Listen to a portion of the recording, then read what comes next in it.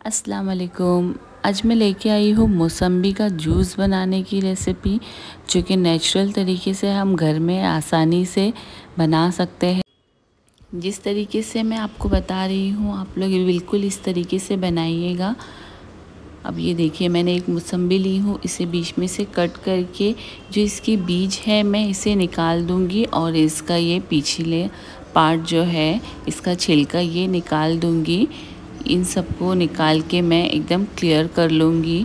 बीज इसमें एक भी नहीं रहना चाहिए, इससे मौसम्बी में बहुत कड़वापन आ जाता है। तो ये ऊपर का पार्ट और उसकी बीज और छिलका ये सब निकाल के इसे मैं अच्छे से क्लीन कर लेती हूँ। आप लोग भी बिल्कुल इसी तरीके से करिएगा, नहीं तो आपका जूस कड़वा बन के रेडी होगा। और ज़रा भी अच्छा नहीं लगेगा। तो अब मैं ये सब क्लीन कर ली हूँ। देखिए, मैंने इन सबको अच्छे से कट करके बीज निकाली हूँ और ये छिलका निकाल के इसे रख ली हूँ। चलिए, अब आगे का प्रोसेस स्टार्ट करते हैं। इसके लिए मैंने एक मिक्सर जार ली हूँ। और सारी मौसम्बी मिक्सर जार में मैं इन सबको डाल दूँगी। और इन सबको डालने के बाद मैं इसमें दो कप पानी डालूँगी। इसमें ज़्यादा पानी ऐड नहीं करना है। बिल्कुल दो कप मैंने पानी डाल के इसे ऐड करी हूँ और इसे मैं मिक्सर ग्राइंडर में अच्छे से पीस लूँगी। अब मैंने एक बाउल ली हूँ। बाउल में एक छन्नी ली हूँ। उसमें मैं छन्नी से ये जूस को मैं छानूँगी।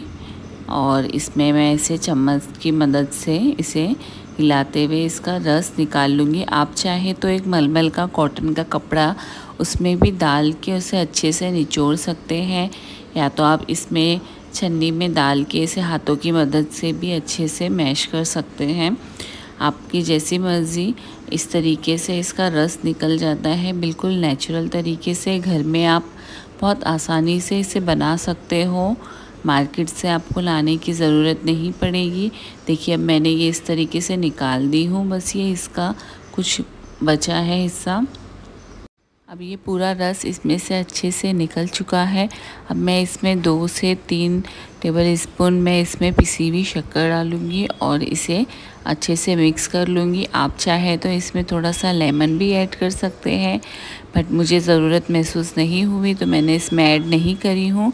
आप लोग भी इस तरीके से ट्राई करिएगा और मेरे चैनल को सब्सक्राइब ज़रूर करिएगा। फिर मिलते हैं एक नई रेसिपी के साथ में। जब तक अपना ख्याल रखिएगा। फ़ी अमान